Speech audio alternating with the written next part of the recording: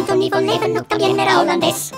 No escribió ni un libro, fue a través de sus 190 cartas a una academia influyente que contó lo que veía con su microscopio monolente. Cosas muy minúsculas con mucha claridad, como bichitos de tipo monocelular. Hubo quienes no creían en lo cierto de sus dichos. Bueno, es así, pero aún le eran a decir su apellido.